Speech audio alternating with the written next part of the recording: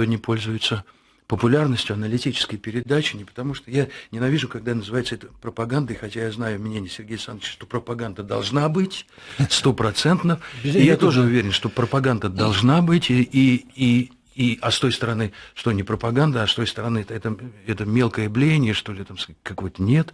Еще какая пропаганда? Так вот, э, я за аналитику, за пропаганду, за то, чтобы, ну, не у всех есть возможность анализировать. Но... Ну, Задним умом мы все очень э, быстры. А вот и вот в 2014 году я увидел это и понял, что все, конец, это, это война. Это самая настоящая война. Стало жутко страшно. Вы не представляете, как. К Митрофаном, ну, понятно, что с Иваном Сергеевичем, мэром, к мэром э, Горловки, ему огромный поклон от, от нас. И от Светланы к вам большая просьба. Вот эту икону как можно быстрее. С дочкой падает на траву. Где-то за километров тысячи танки с залпами бьют в упор. И осколками градов высечен чей-то маленький мирный двор. Где-то звери в людском обличии у людей отбирают жизнь, а я дома сижу привычно. Я здоровый вполне мужик. Там девчонка двадцатилетняя закрывает собою дочь, и в глазах угасает свет, а я им ничем не могу помочь. И приходит в ночи бездонной из-за облачного далека в сон мой горловская Мадонна с мертвой дочкой на руках. Вы понимаете, вот какая история. Э, у меня, я был знаком, я не, не, не аналитик, не политик.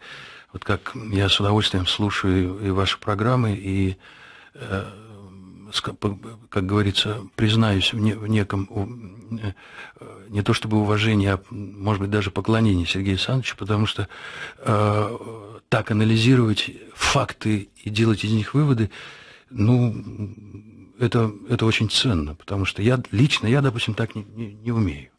То есть я все больше интуитивно, Спасибо. больше там эмоционально, что ли. А вот так выложить ясность картинки, а она мне, эта ясность необходима. Потому что я, ее, я хочу ее услышать. Я, если я что-то не понимаю, есть, но я чувствую, я, я хочу формулировку, простую, ясную формулировку. И 14 год для меня после второй э, чеченской кампании была еще та самая ситуация, когда мне очень близкие мои умные люди сказали, все, это все катится к большой войне. Украина готовится к войне, и, а, и мы обязательно будем туда втянуты. Россия не сможет остаться, потому что все к этому тянет. Я улыбался и говорил, это все бред, это все так быть не может. Этого не может это, быть, да? Да, мы братья, мы навек и, и все такое. Да, безусловно, было ощущение какой-то нелюбви к нам, и, и оно и прибалтийская нелюбовь, и украинская нелюбовь. Но мне казалось, что это все пройдет. Ну, знаете, как люди разошлись, пройдет время, успокоились и продолжили, как говорится, общаться дальше. Но вот э, человек, который был гораздо старше меня, он сказал, все, как жаль, как жаль, что там начинается вот этот вот бред. Я, придется вам и моим внукам, и моим детям, вы войдете в войну. Я-то сказал, ну, перестаньте, Илья Александрович, ну, да вы что, да какая война? Про себя, а он генерал, он серьезный, так сказать, мужчина, и был... А, и вот он тогда впервые сказал, что война. Я поехал туда. Я, конечно, был потрясен. Да, после Чеченской войны было сложно чем-то удивиться, но я был потрясен. Во-первых, бомбили Донецк. Мирный. Абсолютно, Донецк. да, абсолютно мирный. А, вот я попытаюсь сжато. Во-вторых, я увидел, как расстреливают, в упор расстреливают православные храмы. Просто нагло, ничего, никого там нет. Допустим, даже я бы понял, что там прячутся дети, старики, ну просто люди русские, которых надо, как говорится, изничтожить. Да нет, просто стоит пустой храм. И батюшка, когда проезжает колонна, останавливается, разворачивает башню и просто по этому храму бьет. Вот э, после этого появились женщины, которые, значит, голые. Если вы помните, был такой какой-то у них прямо началась какая-то, причем такая глубокомысленная в кавычках. Эти женщины стали резать пилами кресты православные, просто срезать их на дорогах, там, где они. И это такое массовое какое-то истеричное движение, и мне вдруг стало понятно, что все, начинается страшное. Убегает река, берега лихолетие, И в воде небеса переплавлены в сталь. Убегает туда, где прощается ветер, И светит луна, луна как медаль.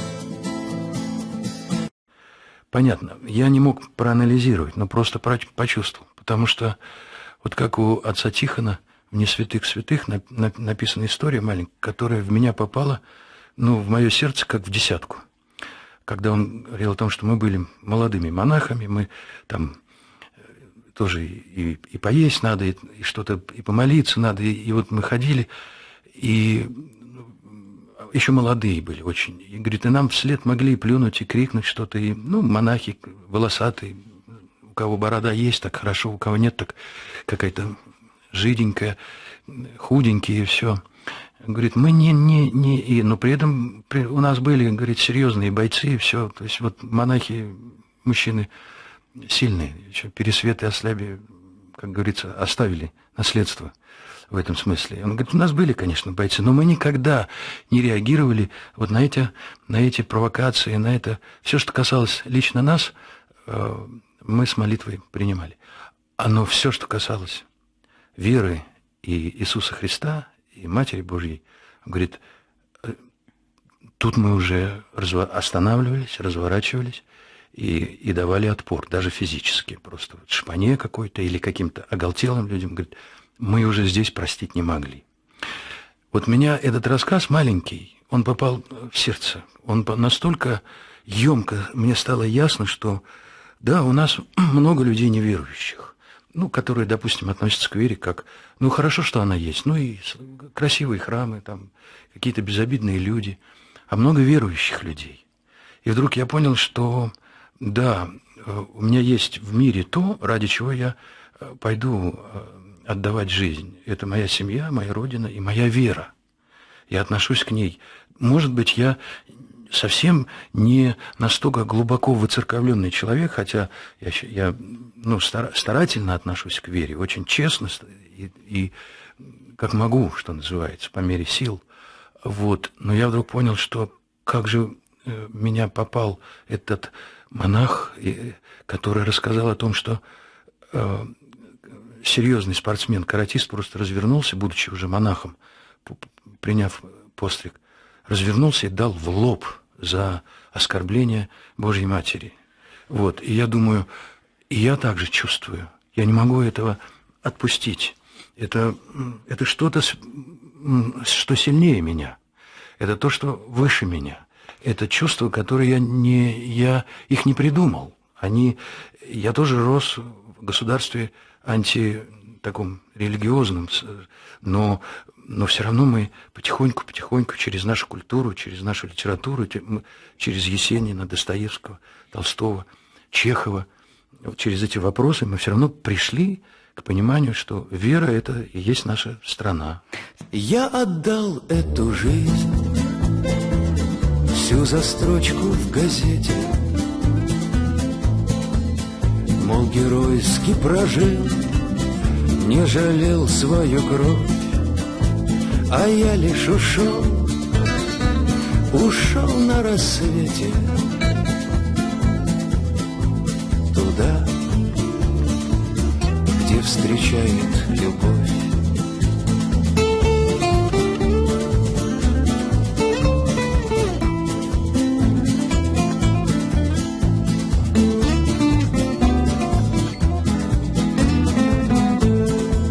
Ваш рассказ такой эмоциональный перекликается с сегодняшним днем. Вот мы утром обсуждали сегодня последний день, когда да. монахов их выгоняют из Киево-Печерской лавры. Сегодня день, когда Вы знаете, просто вот атака так, на православие идет. Это же такой же разговор и был. Почаевская, Киево-Печерская. Э, их заберут, разнесут на камни, святые встанут, мощи и уйдут. И на этом кончится Великий Киев. На, мне говорят, я, я также говорил, да перестаньте вы, да, да, да какая может быть Лавра наша родная, любимая, да за нее, да они не дадут, да это, да ну, ну что нужно, во что нужно превратиться, чтобы прийти и разрушать э, Киево-Печерскую лавру. И вот все то, что я вчера и сегодня наблюдаю, думаю, но мне же говорили об этом 10 лет назад, еще 10 лет назад, что так будет, что в первую очередь уничтожат веру, язык, а потом людей потихоньку выжгут. Там белые, белые, белые кони. Растопчут рассвет, он останется тлеть. Какая досада, душевные боли. Мне надо туда, но боюсь не успеть.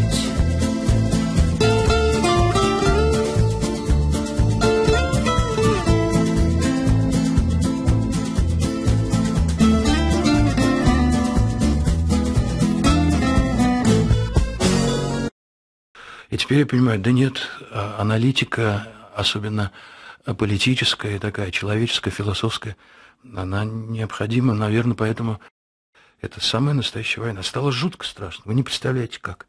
Значит, тогда, еще в 2014 году, у меня есть такое вот, бродит по интернету это, это интервью, я обратился к матерям Украины. Правда, это интернетское интервью называется «Мама Украины, вы сошли с ума». Почему? Потому что летом на улицах Киева вышли матери Украины, я их называю мамы Украины, ну вот как бы по-человечески, не просто женщины какие-то, тетки дурацкие или что-то, матери. И к моему ужасу стали требовать оружия для детей. Больше автоматов, больше бомб, дайте им танки. Я тогда обратился к ним и сказал, что вы, мамы, вы сошли с ума, потому что надо выходить с, с другими мыслями. Обратитесь друг к другу, мамы Киева и там, я не знаю, Луганска и Донецка в этот момент.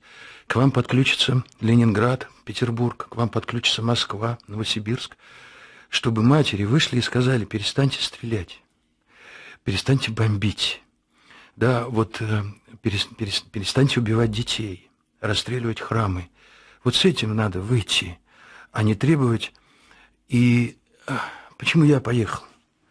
Еще я вот пытаюсь все время ответить на этот эмоционально на этот вопрос. Я просто знаю это по, по, по нашей Чеченской республике, потому что уже тогда я понимал, после на войне в Чечне, что это не просто так, что это не народный возглас. А, меня также лечили чеченские врачи, у меня было воспаление легких. Также вот есть стихотворение «Меня лечил донецкий врач», вот я могу сказать, меня лечил чеченский врач на той войне. Поэтому я понимал прекрасно, как, э, сколько там летает эм, денег, значит, эти чемоданы долларов, наемники. Нам запрещено было говорить, что при первые приехали убивать и чеченцев, и русских в Чечню, значит, это прибалты и украинцы почему-то. Но а, я, сейчас это не запрещено, они сами об этом рассказали во всех эфирах они, эти Сашки Билы, и все радостно рассказывали, как они отрезали головы русским. Причем мирным. Совсем не обязательно, что это военные люди. И вот этот пожар а, был погашен с огромным, огромными силами, огромными потерями. А, но Россия тогда, вот благодаря нашему верховному главнокомандующему, она вышла, ну, как-то с честью достоинством. Там погашен, погашена была война этих всех гадов, кто в Лондон уехал, кто еще куда-то. Ну, по крайней мере, кто, кто сумел сбежать, а кого-то просто уничтожили. Но это же была война подготовленная. Это не народная масса, это не революция какая-то, а мы плохо живем. Это все полностью чушь и ерунда. И, и мы это там видели. Мы это точно понимали. Я считаю, что много сделано властями ошибкой, ошибок натворили. Ну, что делать? Ну, ну, делаем ошибки. На ошибках надо, конечно, учиться. Но то же самое началось в Донецке. Все то же самое.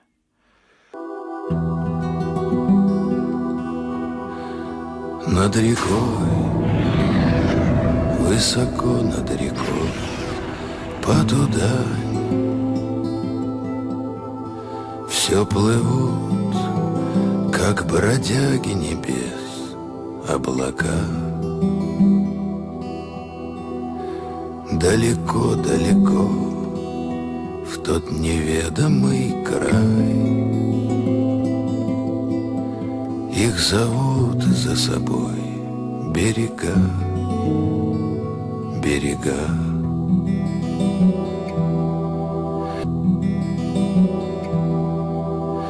Там на краю ярко-белые ночи. Летят и летят, словно птицы на юг. И стонут ветра, на мгновение пророчут. Уносят молитвой слова прикрой меня, друг.